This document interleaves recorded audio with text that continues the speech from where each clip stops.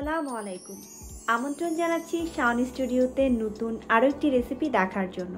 আজকে আপনাদের সাথে আমি শেয়ার করছি most requested recipe Japanese cheese cake এই জাপানিজ চিজ কেকের রেসিপিটি আমি কোলাবোরেশন করছি আমার ছোট্ট বন্ধু জারিন ওর চ্যানেলের নাম হচ্ছে কুকার্স ডেন আমার জাপানিজ চিজ কেকের সাথে ও ওর চ্যানেলে অরেঞ্জ পাউন্ড কেকের রেসিপিটি শেয়ার করেছে।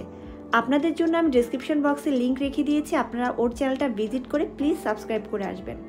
এখন চলুন আর কথা না বাড়িয়ে আমি জাপানিজ চিজ কেকের রেসিপিতে চলে যাই। চিজ কেক বানানোর জন্য আমি প্রথমেই বড় একটি মিক্সিং বলে হাফ কাপ ক্রিম চিজ নিয়ে নিয়েছি। আর এই ক্রিম চিজটা কিন্তু আমার বাসায় তৈরি করা।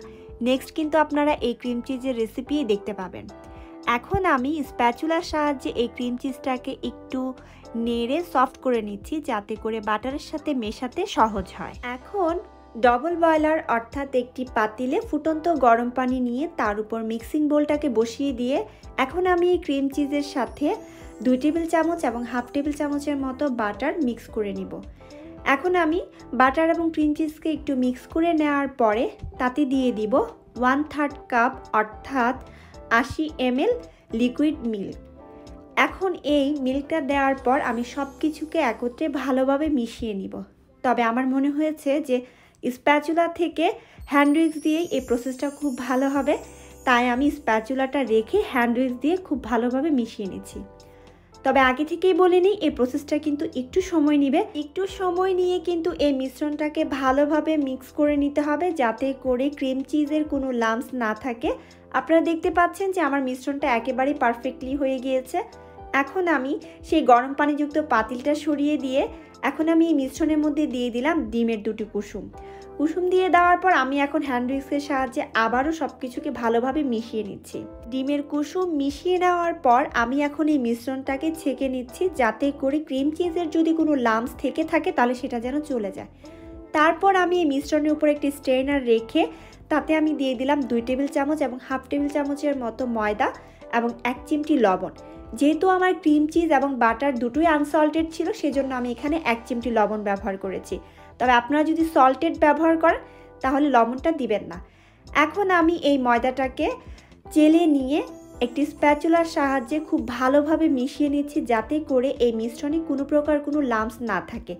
আপনারা দেখতে পাচ্ছেন যে আমি একটু সময় নিয়ে এই মিশ্রণটাকে তৈরি করে নিয়েছি। এখন এই মিশ্রণটাকে আমি এক সাইডে রেখে চলে যাচ্ছি ডিমের সাদা অংশ দিয়ে মেরাং তৈরি করে নেওয়ার জন্য। এখানে আমি রুম টেম্পারেচারে থাকা দুটো ডিমের সাদা অংশ ব্যবহার করছি।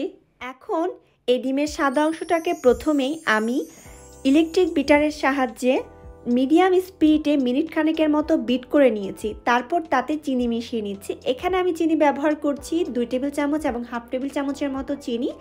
তবে আমি চিনিটা একবারে ব্যবহার করছি না। প্রথমে এক টেবিল চামচ দিয়েছি, তারপর দিয়ে দেওয়ার পর আরও কিছুক্ষণ বিট করে নিয়েছি অলমোস্ট প্রায় এক থেকে দেড় মিনিটের মতো। তারপর আমি আরও এক টেবিল চামচ পরিমাণ চিনি দিয়ে দিচ্ছি। এখন আমি আবারও বিট করে নিচ্ছি প্রায় দুই থেকে তিন মিনিটের মতো। এই প্রসেসটা কিন্তু করতে প্রায় পাঁচ থেকে সাত মিনিটের মতো সময় লাগে। তবে এখানে কিন্তু চিনিটা একেবারে দিয়ে দেওয়া যাবে না। তাহলে কিন্তু চিনি থেকে বেশি পরিমাণ পানি বের হয়ে ডিমের ম্যারাংটাকে পারফেক্টলি হতে দিবে না। এখন আমি শেষবারের মতো হাফ টেবিল চামচের মতো চিনি দিয়ে এখন আমি এটাকে প্রায় তিন থেকে চার মিনিটের মতো বিট করে নিব। এই যে আপনারা দেখতে পাচ্ছেন যে আমার ডিমের ম্যারাংটা একদম পারফেক্টলি তৈরি হয়ে গিয়েছে। এখন এই ডিমের ম্যারাংটাকে আমি কেকের যে অন্য মিশ্রণটা তৈরি করে রেখেছিলাম, তার সাথে মিশিয়ে নিব।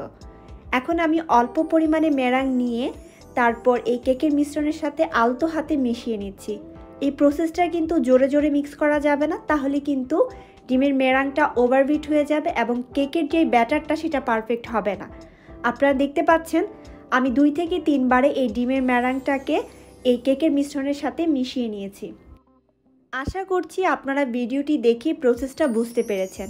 এখন অনেকের মনে প্রশ্ন আসতে পারে যে আমি এত কম ডিম দিয়ে কেন জাপানিজ চিজ কেকটা তৈরি করেছি?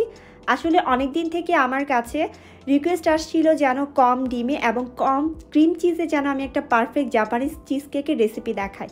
সেজন্যই আজকের এই রেসিপিটি। এখন আমি একটি কেক মোল্ডের মধ্যে, অর্থাৎ এখানে আমি নিয়েছি সিক্স ইঞ্চের কেক মোল্ড, তারপর কেক মোল্ডের মধ্যে আমি চারপাশে তেল ব্রাশ করে নিয়েছি।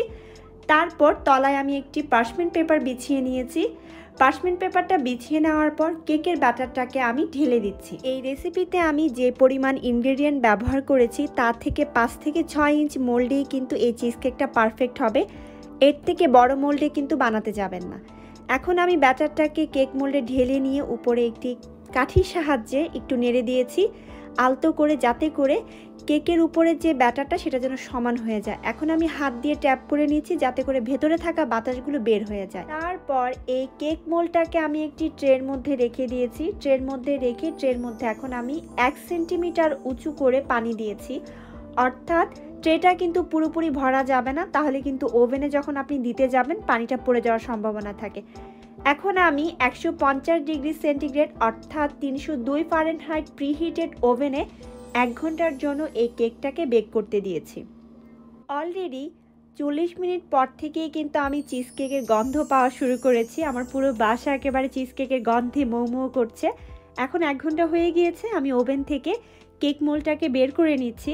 তারপর আমি এই কেকটাকে ঠান্ডা হওয়ার জন্য একটু ওয়েট করব। ফর্চুনেটলি আমার এই কেকটাকে কিন্তু ঠান্ডা হতে দেওয়ার কোনো সুযোগ দেওয়া হয়নি। যার কারণে গরম অবস্থাতে আমি মোল থেকে বের করে নিয়েছি। তারপর উপরে আমি কিছুটা পাউডার সুগার ডাস্ট করে দিয়েছি। পাউডার সুগার ডাস্ট করার আগে কিন্তু কেকটা আমি কেটে ফেলতে নিয়েছিলাম। পরে মনে পড়ল যে আমার ভিডিও কিন্তু বাকি আছে। তারপর পাউডার সুগার ডাস্ট করে দিলাম। এই হচ্ছে কেকের ফাইনাল লুক এখন আমি আপনাদেরকে এক পিস কেক কেটে দেখাচ্ছি। দেখুন ভেতরটা কতটা সফট এবং ক্রিমি হয়েছে আর মুখে দেওয়ার সাথে সাথে কিন্তু মিলিয়ে যাচ্ছিল। টেস্ট কেমন হয়েছে তা আপনারা জানতে বাসায় কিন্তু অবশ্যই তৈরি করবেন। আজকের মতো এখানেই বিদায় নিচ্ছি। আবারও নতুন কোনো রেসিপি নিয়ে হাজির হয়ে যাব। সবাই ভালো থাকবেন, সুস্থ থাকবেন। আল্লাহ হাফেজ!